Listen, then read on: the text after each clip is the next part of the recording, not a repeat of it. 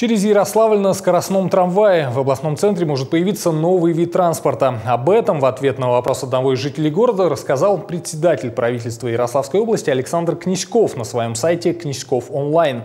Он сообщил, что в соответствии с генеральным планом развития Ярославля прорабатывается вопрос организации скоростного трамвая, соединяющего северные и южные районы города от торгового центра Альтаир до торгового центра Вернисаж.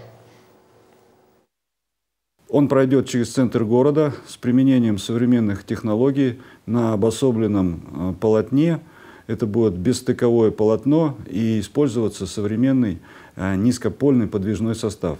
А в данном случае проработка ведется активно. Здесь надо сказать, что при нынешнем бюджете города Ярославля без привлечения инвестора такое строительство невозможно. Поэтому в части привлечения инвестиций ведется э, очень серьезная проработка.